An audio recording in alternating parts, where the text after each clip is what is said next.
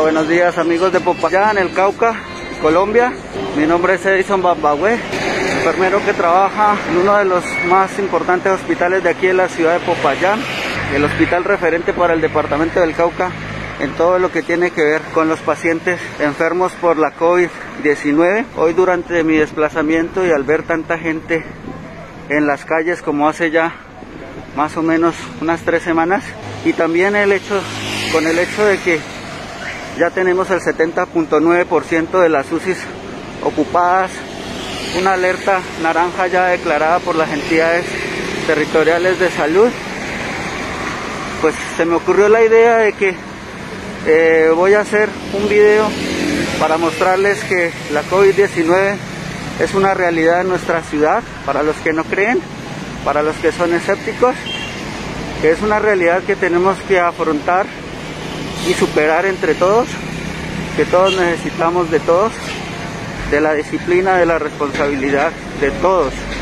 En un rato cuando llegue al hospital les estaré mostrando nuestras áreas COVID para que vean pues que nosotros aquí en la ciudad apenas estamos empezando, que países como China, Italia, España ya se están dando la posibilidad de, de abrir o liberar muchas situaciones de la vida cotidiana, pero porque ellos ya pasaron por esto.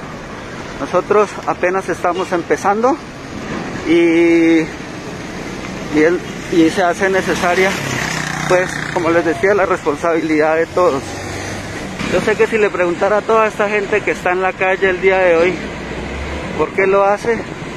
Muchos tendrán su, su respuesta justificada y no pretendo una vez más juzgar a nadie, pero de la posibilidad de empezar a enfrentar situaciones que muchos creemos exageradas de película o cosas exageradas de redes, pues quiero que empecemos a observar por nosotros mismos cómo está nuestro hospital por dentro, en las áreas COVID, ya están llegando pues a su a su máxima capacidad y que y que dado el comportamiento en adelante de todos, pues exigirá que hagamos áreas de expansión y que se empiecen a tomar medidas y decisiones pues que pocos eh, creemos y queremos que va a pasar.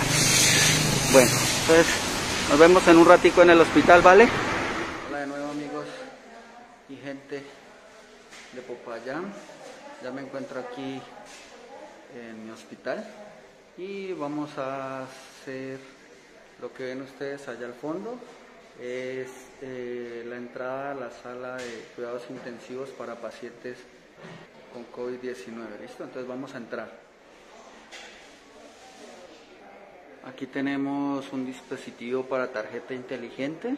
Pues como ya tengo mi permiso, entonces voy a utilizarlo para abrir la puerta. Bueno, entonces tan pronto cruzamos la puerta nos encontramos la sala de descanso para el personal que está atendiendo los pacientes de cuidado intensivo COVID. Aquí vemos que está su alimentación porque pues ellos no pueden salir de acá de, de esta área. Entonces cuando tienen su espacio de descanso, aquí es donde ellos pues tienen sus pertenencias y realizan el descanso. Aquí es también donde yo voy a cambiar, me voy a, a, a, ponerme una ropa y una mascarilla adecuada para estar en esta área y en un momento continuamos. Ya me encuentro aquí eh, vestido con una indumentaria desechable porque pues el tiempo que voy a estar aquí es corto. La gente que trabaja acá trabaja con unos uniformes que solamente son para trabajar en esta área yo en este momento me he puesto un, una mascarilla especial, la que ustedes de pronto también han oído mencionar, la famosa N95, y por encima la he cubierto, la he protegido con una mascarilla quirúrgica desechable, que es la que, como su palabra lo dice, voy a desechar una vez yo termine mi entrada aquí, eh, es la que voy a botar porque pues la N95 ustedes se han dado cuenta que es más difícil de conseguir, que están escasas, que son más costosas, entonces tratamos de cuidarlas lo más que podemos porque es nuestra una de nuestras principales barreras de protección ante el riesgo pues de contraer la COVID-19 por la exposición a particularmente los aerosoles que se producen en algunos procedimientos que se realizan en pacientes en el ambiente hospitalario. Tengo mis monogafas, tratando de que me cubran toda la parte de los ojos. Mi gorro es desechable, mi bata desechable encima del uniforme y creo que estoy listo para que para que entremos y pues mostrarles un poco lo que lo que les mencionaba hace un momento. Entonces vamos ahora sí directamente al área COVID. Buenos días, buenos días, buenas tardes. ¿Cómo?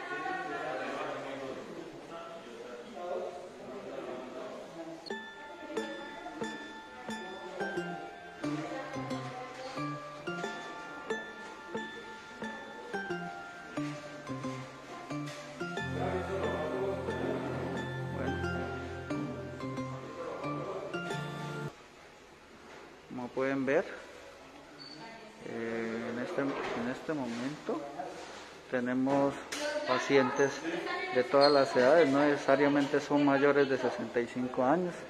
Lo que, los que estoy viendo en este momento todos están entre 30 y 60 años. Entonces, eh, la idea es que vemos que es una realidad.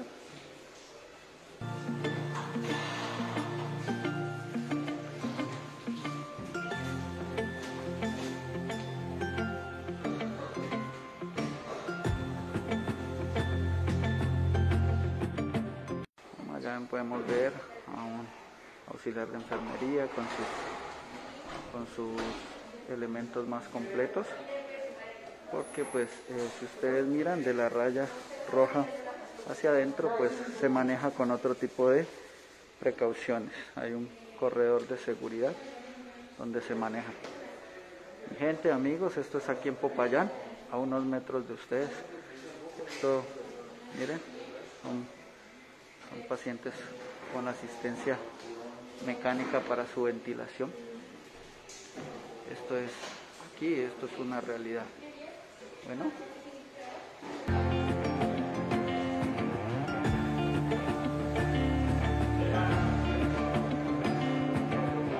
Aquí está el rótulo del uniforme propio para aquí, para la unidad de aislamiento COVID. Hola amigos, hola gente.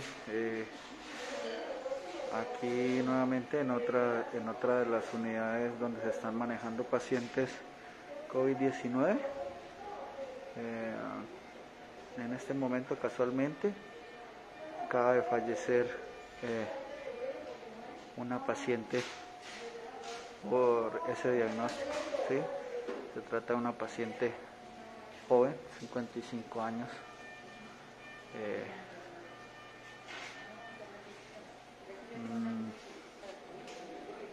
sí, con factores de riesgo, pero de todas maneras muy joven. ¿Listo? que esto por favor nos sirva de ejemplo para que hagamos en la calle esas cosas simples que nos están pidiendo.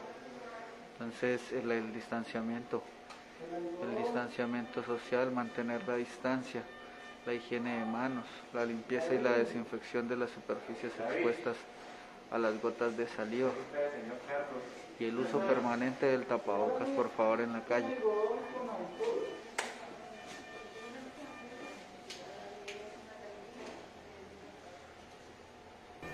lo que le pasó a ella fue algo definitivamente catastrófico. Sus pulmones estaban muy dañados y para poder eh, ayudarla, le colocamos medicamentos muy fuertes para la presión. Eh, definitivamente el daño fue algo muy, muy, severo.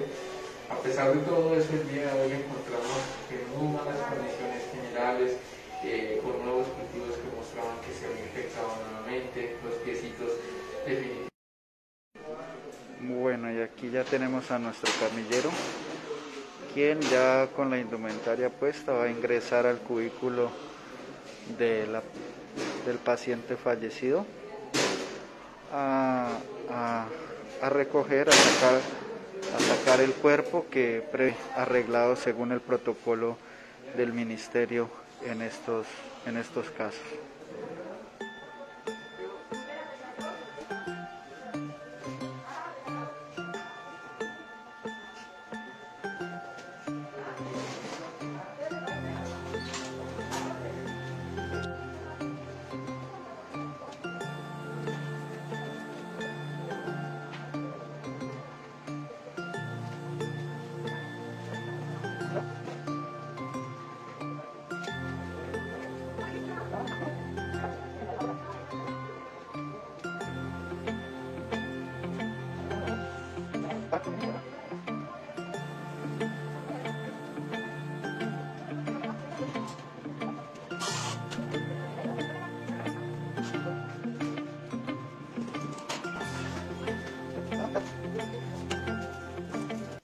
Y sin importar su origen y las aparentes incoherencias, la COVID-19 es una realidad. Eh, como pudieron ver, esto es aquí en nuestra ciudad, muy cerca de nosotros. Espero que las imágenes hayan hablado por sí mismas y te hayan hecho tener un momento de verdadera reflexión que te lleve a comprometerte con tu cuidado, con tu propio autocuidado, hacerlo más que por cumplir normas eh, como muestra de amor hacia ti mismo, hacia tus seres queridos y tu prójimo. Como muestra de amor también, compártelo porque yo te cuido, tú me cuidas. ¿Vale? Chao.